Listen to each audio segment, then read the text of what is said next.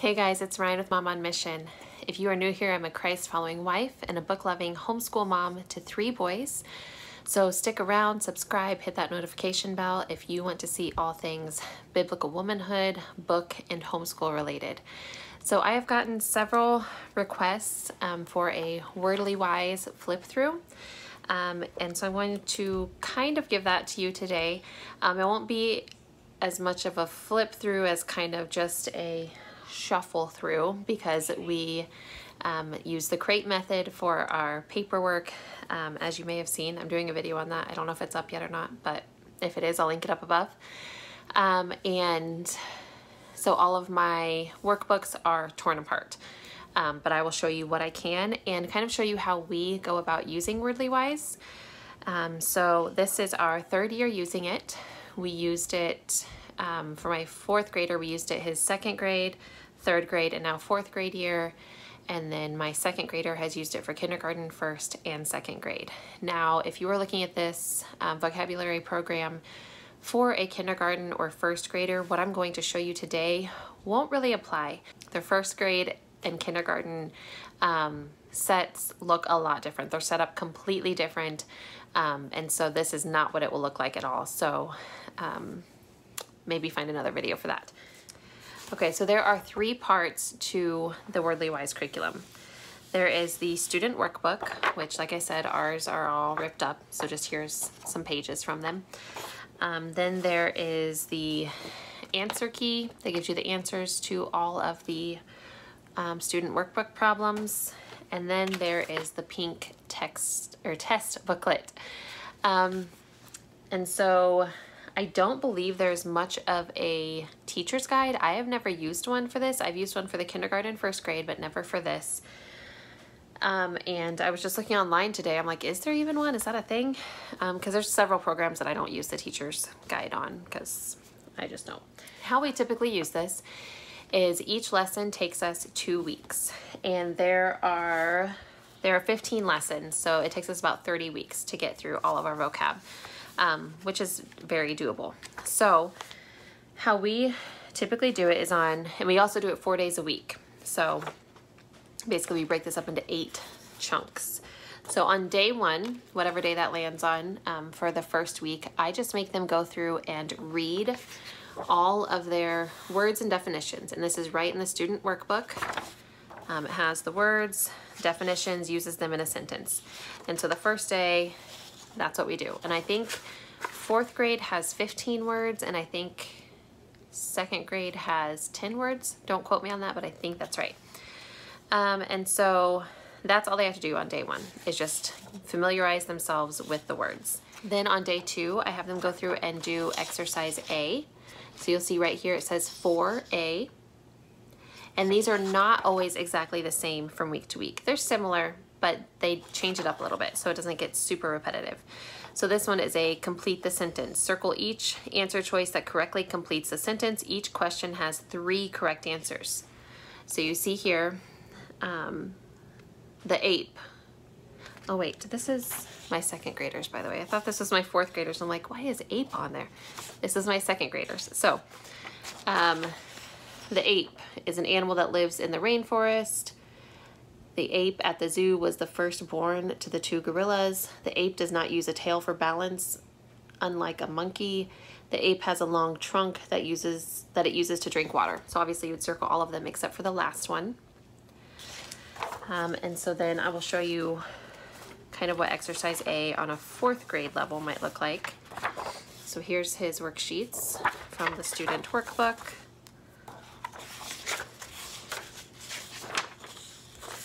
Okay, so his exercise A, using words in context, read the following sentences. If the word in bold is used correctly, write C. If it's incorrect, write I. So you can kind of see paralysis can make you need a wheelchair. So correct or incorrect. You can draw paralysis with just four straight lines, correct or incorrect. Okay, so then on day three of the week, I make them move on to exercise B. So for fourth grade, that may look like, again, they change, but may look like this. Uh, making connections, circle the letter next to the correct answer. There may be more than one correct answer. So which word or words go with care deeply? Astound, recite, cherish, approach. So obviously cherish would be your answer there. Um, for second grade, that might look like making connections, circle let the letter next to the correct answer. Which word goes with cave? Chimney, cavern, motor, or brain? And what I like is it pulls in some of the previous vocabulary words. So this week we worked on the word motor in second grade, and that's one of his choices for this um, next week's assignment. So they kind of keep bringing back those old words. Okay, so we did exercise, or we read through the words first day, Exercise A the second day, exercise B the third day. Exercise C would be on the fourth day. So for fourth grade, it might be determining meanings. Circle the letter next to each answer choice that correctly completes the sentence. There may be more than one correct answer. So I want to respond A to someone or to something you said the other day. B to a column in yesterday's paper. C the money you lent me back in June or D, but I can't think of what to say. So obviously there are three correct answers there. And then for second grade, exercise C may look like this. Using context clues, circle the letter next to the word that correctly complete, completes the sentence.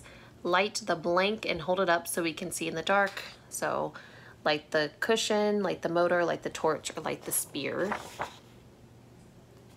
Again, some of those words are recycled from previous lessons, which I really like. So then that would be all we did for the first week. So then on the second week, um, the first day they would do exercise D, both of them. So this is in vocabulary in context. So this is second grade. So there's a little section to read um, and then continues on to the back, good chunk to read. So if your child isn't a super great reader, um, they may need some help there. But then they have a big old list of questions that have to do with the vocab words that they saw in that um, excerpt that they read. Now, I cheat on this a little bit. This is where I talk about all the time, I tweak things. This is a place where I tweak things. This says answer each of the questions with a sentence. I don't make my second grader do this. Um, however, I do make him read it and then I ask him the questions verbally and we have a discussion about it. Um, I we do a lot of handwriting throughout the day and I don't feel like he needs to do more with vocabulary. So I don't make him because it makes him very tired and grumpy if he has to do um, a ton of handwriting. So we just don't do it that way. So exercise D for my fourth grader for that second day of the second week may look like this. Complete the sentences to demonstrate your knowledge of the words in bold. So this, they get to be a little creative when he sees this one. So if someone imposes on me, I might feel, and then he puts how he would feel if he was imposed upon. Um, and so that you kind of get to see um, that they're really understanding the word because they're having to take that word and make their own thoughts um, with it and get creative with that. So I do like that aspect. Now then on, I'm sorry, that was day one of, of week two. So then on day two, things kind of go a little different because in, um, let's see, my second graders, that, in my second graders, that next um, section is the extension. And so it looks like this. Now this I also kind of cheat on because it is kind of more for a classroom setting how it is written. So they usually have a word here and I believe it's a word that's already in their list if I'm not mistaken. Yes, so this is already one of his vocab words so they just write it again um, to remind you what that means and then phrasal verbs. So this shows you branch can mean branch off or can mean, um, you know, so that's a different way that you can use the word branch. And then there's a discussion and a writing prompt. So here's where it says, um, or here's where it seems like it's more for a classroom setting. It says a big road can have smaller tree branches, or a big road can have smaller streets branching from it. Can you think of something else that has small things branching off from it? And then they say, turn and talk to your partner or group. Use this space to take notes or write down ideas. Um, and then write one to three sentences, um, you know, explaining or talking about something that can also have stuff branching off of it. Again, the whole writing thing, I don't make him um, do much. We just discuss it, he and I, um, instead of with a group. And then I do the writing for him, but I make him come up with the original thoughts. I just put them to paper for him and talk through them with him. Um, again, that's just simply, he gets handwriting exhaustion really easily. And we do a ton of handwriting um, throughout the week already. So we just don't do it here. And then, so that was his day two of week two. My fourth grader's day two of week two is exercise E, which is a lot like, well, pretty much just like my second graders exercise D. So it is a section to read. Continues on the back page. And then there are 10, no, 15 questions um, that have to do with vocabulary words that he saw in there. And some of them are not about a vocabulary word, but they want you to use a vocabulary word to answer the question. So again, even though he's in fourth grade, I typically don't make him do that writing either. He just much prefers to do it verbally, and I'm fine with that for vocab. So then that brings us to day three of week two, and that is when my fourth grader will do his extension. And again, same thing, I do make him write on that one because it's not much. It's two to four sentences, I think is what they ask. So like this one, expose is the word that they're talking about. Um, they talk about context clues, antonyms, and synonyms. Um, and then it says, if you're going to the park and will be exposed to the sun, how could you protect your skin? So again, we don't do the whole jot down ideas with a partner or whatever.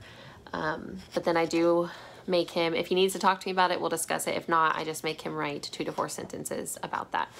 Super easy. So then that brings us to oh no, that's still day three. My second grader on day three, um, he doesn't have anything else after that, so I just let him use that as a review day. I just make him go through, reread the words and definitions, make sure he has those solid in his mind, because on day four, they will both take a test. So my, um, actually both of them now take these tests independently because it's set up like, let me see if I can find the test for the same week. Um, it's kind of a fill in the bubble type test. However, because I want to reuse these books, I just make them do it in their language arts notebook. It's just a spiral notebook where they can write down these answers. Um, so to attend a meeting is to A, lead it, B, go to it, C, plan it, or D, end it. And so he would just read that and then write down A, B, C, or D on his paper.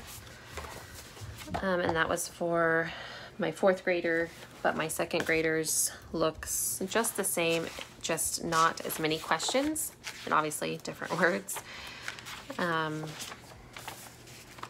so dad has bought a dozen eggs. He bought A, two eggs, B, four eggs, C, six eggs, or D, 12 eggs.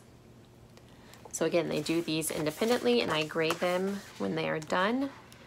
Um, and the answers are always in the back of the book. So I don't even know if they know that, but I do make sure I'm watching to make sure that they don't find that out during a test. I don't expect them to do that anytime soon, but you know.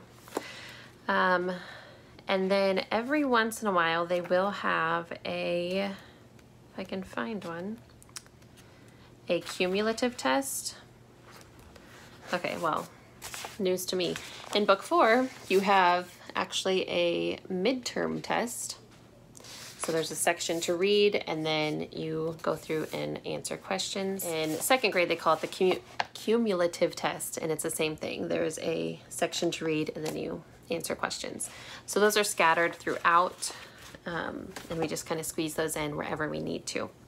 So that is by and large how we use it. Again, there is the answer key so that each um, worksheet that they do, I can grade rather quickly. Sometimes there are um, crosswords that they need to do. The crossword answers are in here.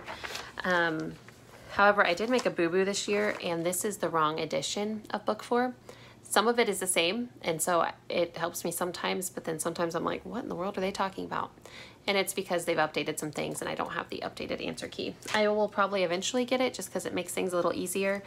But as of right now, when I find that happening, I just grade it. Like I can do fourth grade vocabulary, so it's all right. Um, so that's how we use WordlyWise. We like it. It's simple. It's to the point. It is worksheet heavy, but my boys don't seem to mind it because they can do it on their own and it doesn't take them a long time. So, and I do see their vocab um, growing with this. So that's the whole point, right? I thank you so much for watching. If you want to see any other flip throughs or have any questions about this, let me know down below. Um, and make sure you subscribe and I will talk to you next time. Bye.